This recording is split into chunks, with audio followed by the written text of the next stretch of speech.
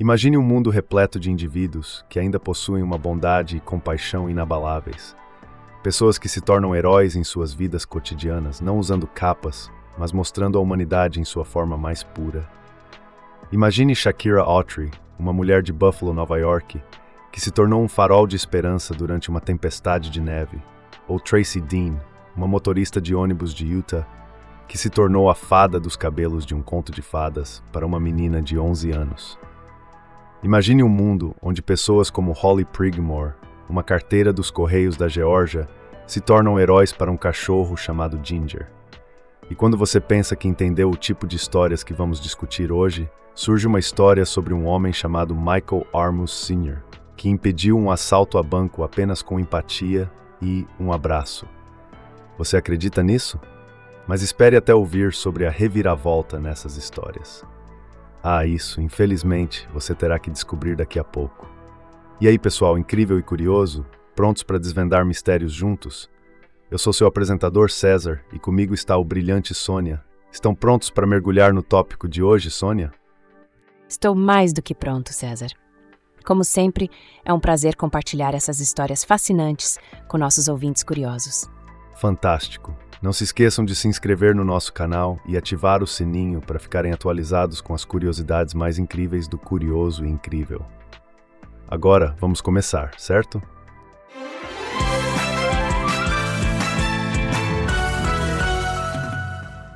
Agora, pessoal, quero que vocês imaginem uma tempestade de neve intensa em Buffalo, Nova York.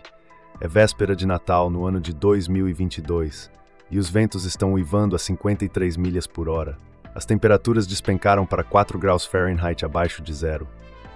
Em meio a essa turbulência, uma gerente de serviços ambientais de 35 anos, chamada Shakira Autry, é acordada pela tempestade. E então ela ouve um pedido de ajuda. Uau! No meio de uma tempestade de neve? Sim, no meio de uma tempestade de neve mortal e histórica. E quando ela olha pela janela, ela vê um homem lutando na neve. Ele não está usando luvas e está lutando contra essas condições extremamente adversas.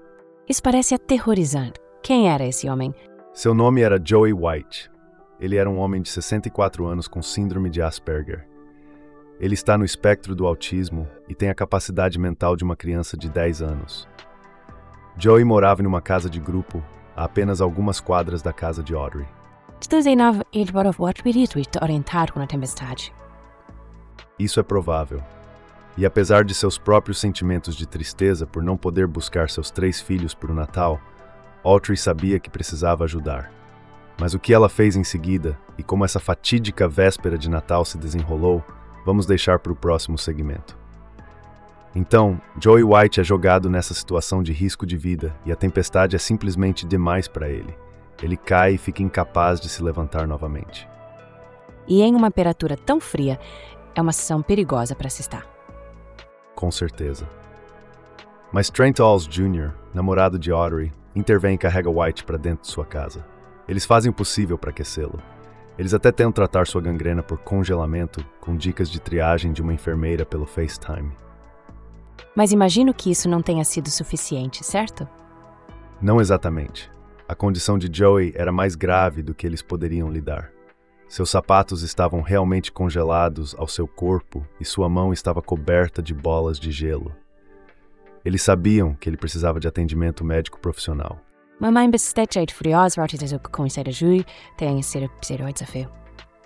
De fato, eles ligaram para o 911, mas a cidade estava enterrada em uma espessa camada de neve. Os socorristas não conseguiam chegar até eles. Eles também tentaram obter ajuda da Guarda Nacional, mas ninguém apareceu. Então eles ficaram presos, tentando cuidar de Joey por conta própria? Sim, mas eles aproveitaram ao máximo. Autry até preparou panquecas para ele na manhã de Natal e um assado para o jantar. Ela estava determinada a manter o ânimo dele elevado. A situação piorou. Na noite de Natal, White estava alternando entre momentos de consciência e inconsciência. Autry teve que fazer um apelo público por ajuda através do Facebook Live. Mas o apelo dela foi ouvido. O ex-jogador da NFL, Doug Worthington, e seu cunhado, Jason Kippa, responderam e levaram White para o Erie County Medical Center. Sim, mas infelizmente ele perdeu nove dedos e metade de um polegar devido a grave gangrena por congelamento. Mas uma coisa é certa: a coragem e compaixão de Autry salvaram a vida de Joey White. Agora vamos mudar nosso foco para American Fork, Utah. Aqui temos uma menina de 11 anos chamada Isabella Peary. Ela perdeu sua mãe para uma rara doença cerebral e seu pai, Philip, está trabalhando duro para cuidar dela e de seu irmão mais velho. Para Com certeza. E havia uma coisa com a qual Philip tinha dificuldade em particular: cuidar do cabelo de Isabella. Cuidar do cabelo para um desafio, especialmente para alguém que não está acostumado com isso. Sim, até que cortou o cabelo de Isabela bem curto, em um momento. Mas a ajuda veio de um lugar inesperado. O motorista do ônibus, Tracy Dean. O motorista do ônibus? Isso é interessante. Sr. C.R. Tracy percebeu que Isabela precisava de ajuda com o cabelo. Ela estava ajudando outro estudante com tranças e, eventualmente, Isabela pediu a Tracy para ver também com o cabelo dela. Então Tracy entrou em ação para ajudar? Sim, ela começou a fazer tranças no cabelo da Isabela e até mesmo know como pentear, desembaçar e estilizar o cabelo sozinha. Isso ainda é tão simples, mas significado. Realmente é. E fez toda a diferença para Isabela e seu pai. Ambos estão extremamente gratos. E aposto que isso também aumentou a confiança da Isabela. Sem dúvida. São esses pequenos gestos de bondade que podem ter um impacto enorme. Mas vamos mudar de assunto novamente. Nossa próxima história envolve um carteiro, um cachorro e uma situação inesperada. Agora vamos falar sobre Holly Prigmore, uma carteira que trabalha com o Serviço Postal dos Estados Unidos desde fevereiro de 2022. Ah, eu imagino que a história dela envolva um cachorro, não é mesmo? Com certeza. Em uma de suas rotas habituais de entrega de correspondências, ela se deparou com Ginger, uma mistura de beagle preto que parecia estar com dor, e entobra que ataca Ginger.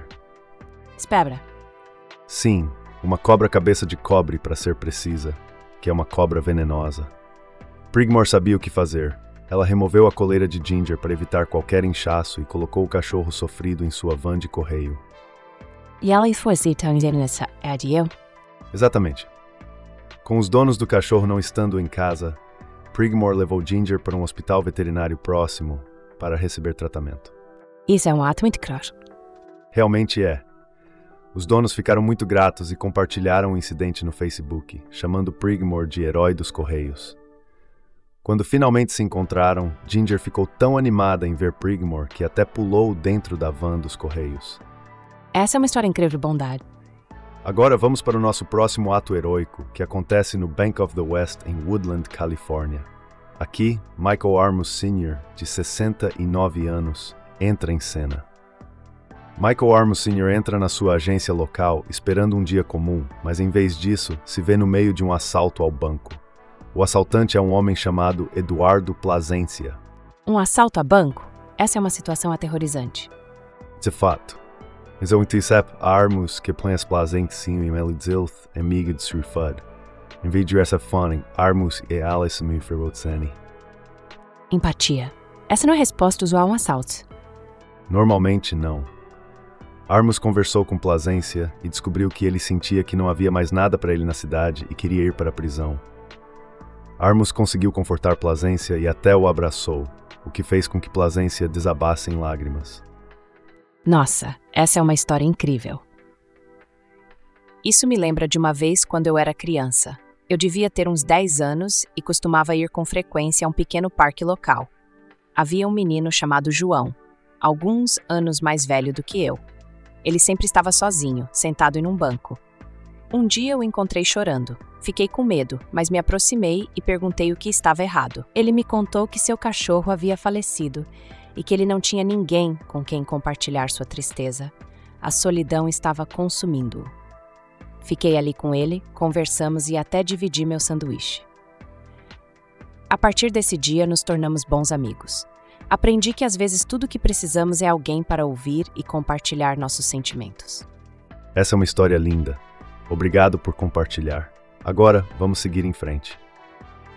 A próxima história vem de Boynton Beach, na Flórida, onde um grupo de bons samaritanos interveio para salvar a vida de uma mulher que desmaiou enquanto dirigia. Voltamos à história de Laurie Rabior, a costureira de Boynton Beach, na Flórida. Depois de desmaiar enquanto dirigia, sua colega de trabalho, Janette Rivera, percebeu que algo estava errado. De fato, Rivera correu para o tráfego, tentando parar o carro de Rabior. Ela sinalizou para outros motoristas e cinco outros bons samaritanos saíram para ajudar. Isso te mostra que ser Com certeza.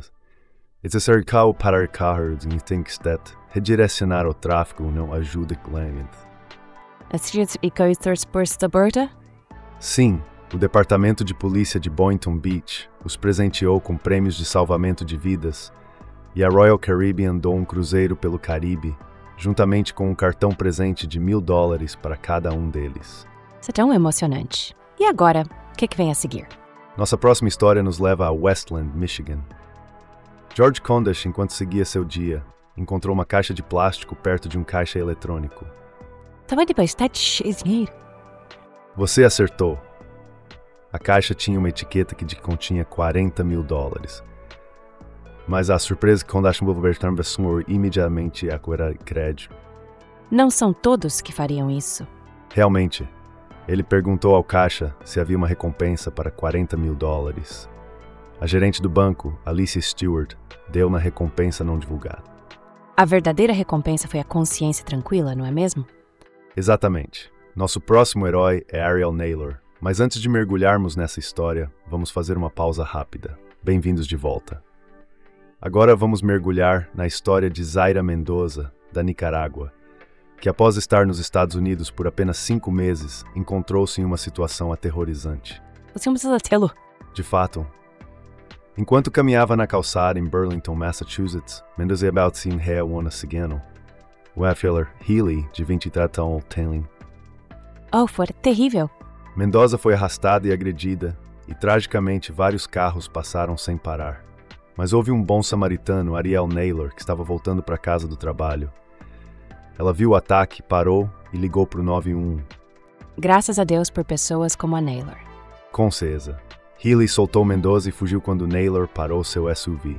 A polícia o prendeu dois dias depois. É tão importante ter ciente e ajudar quando pode. Mendoza disse mais tarde sobre Naylor: Deus me enviou um anjo. Nossa próxima história é sobre Minu Paulini, uma banqueira de 28 anos que se tornou chefe em Índia. Realmente essa grande mulher de cara. Certamente é.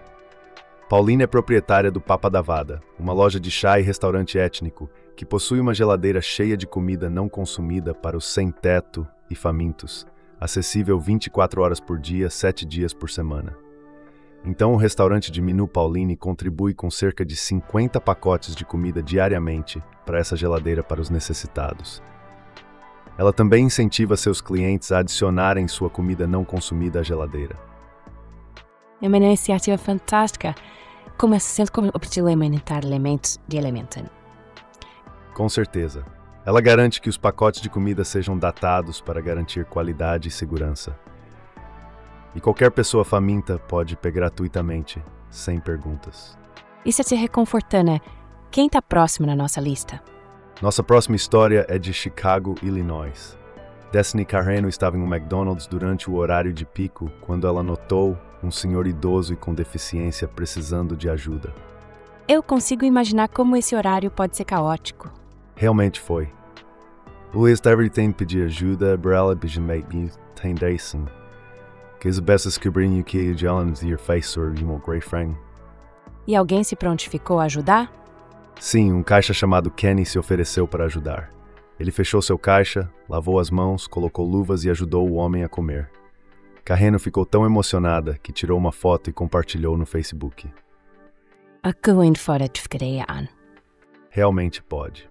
Nossa última história do dia é sobre um menino de 10 anos, Connor Daytree, de Plymouth, Massachusetts, que perdeu sua mãe, Linelli Leonard, em um acidente de carro. Uma das poucas coisas que ele tinha dela era um medalhão em formato de coração com as iniciais e impressões digitais dela. Isso é de parte de valor ter valorizado muito esse momento. Ele valorizava mesmo. Mas antes de nos aprofundarmos nisso, vamos fazer uma pausa rápida. Bem-vindos de volta. Vamos continuar com a história de Conor Datry. Em outubro de 2023, Datry estava praticando futebol quando ele caiu e perdeu o seu amado medalhão. Ah, Com certeza foi. Sua avó, Melissa Moriarty, compartilhou fotos do medalhão em um grupo comunitário do Facebook, mas apesar de muitas pessoas procurarem no campo, não conseguiram encontrá-lo. Eu consigo imaginar a sensação de perda que eles dão até se dão. Com certeza. Mas então um detectorista de 61 anos chamado Lou Assey ouviu falar da história. Ele se orgulha em ajudar os outros a encontrar seus objetos perdidos com seu detector de metais. De graça. Isso é incrível. Então, prontificou conta no medalhão. Sim, ele fez isso. Apesar de contratempos iniciais, ele persistiu. Após conversar com Datry e Moriarty, ele teve uma ideia melhor de onde procurar. A Si e sua esposa buscaram por mais duas horas e fim encontraram o medalhão de Datry. Que final lindo para a história. Uma reunião emocionante, de fato. Histórias como essas nos lembram da bondade nas pessoas e de como podemos fazer a diferença na vida uns dos outros. Então, nesse episódio, abordamos 10 histórias inspiradoras de compaixão e altruísmo. Desde Shakira Autry, que salvou a vida de um homem durante uma tempestade de neve, até Tracy Dean, que fez o possível para trazer um sorriso ao rosto de uma menina. Vimos a coragem de Holly Prigmore, que levou um cachorro ferido às pressas ao veterinário, e a bondade de George Condash, que devolveu uma grande quantia de dinheiro que não era dele.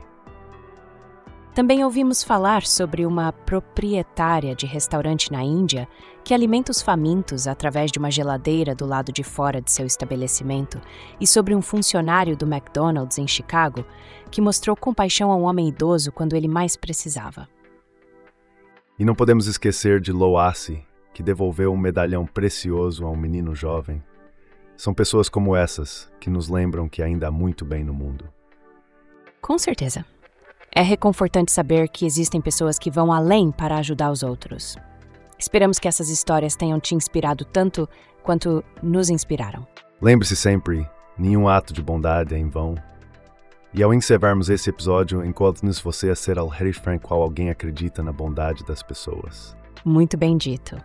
Se você gostou do episódio de hoje do Curioso Incrível, dê um like, deixe um comentário e compartilhe o episódio com seus amigos. Agradecemos o seu apoio. E assim encerramos o episódio de hoje. Obrigado por acompanhar. Até a próxima. Obrigado, Titiscuis. Fiquem seguros e tenha bondade. Nossas histórias emocionantes vêm de um artigo no Listverse intitulado 10 histórias que provam que ainda existem pessoas boas no mundo, escrito por Julie Hanthorne e publicado em 29 de dezembro de 2023. A URL completa está na descrição do vídeo, caso você queira se aprofundar mais no assunto. Agora, estou partindo.